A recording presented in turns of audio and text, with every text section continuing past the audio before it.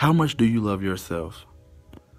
A quote was given to me when I was younger, and the quote says that if you love yourself so much that it may offend other people. Some people may see it as being conceited, but I see it as having confidence within yourself or having high self esteem.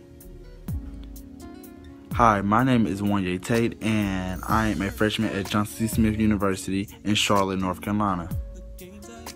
So far, I have made some great friends and made great experience with them.